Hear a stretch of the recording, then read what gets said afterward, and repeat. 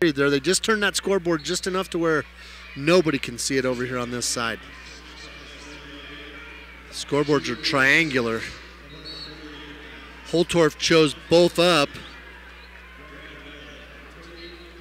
Tries to throw. It's not there. Now he tries to take a shot on a double leg, but Bond just puts a really tight front headlock on him, and he comes around the corner. He's trying to hook up that near side cradle, and he's got it.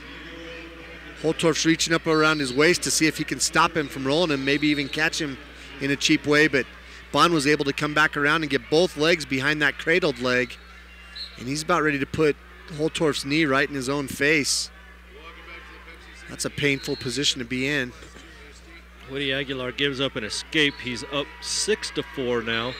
And that's the end of the third period. Woody Aguilar from Limon's going to win it. 58 seconds left now in Holtorf's match. 1010 KSIR. KSIR, Brush, Fort Morgan, Wray.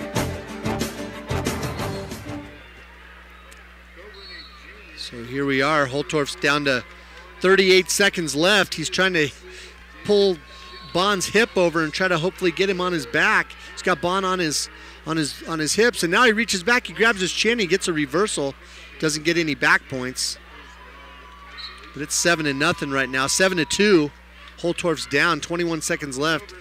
He's going to need a lot of back points in a hurry, a throw or something. He might need to cut him and throw him and get a pin. That's the only way.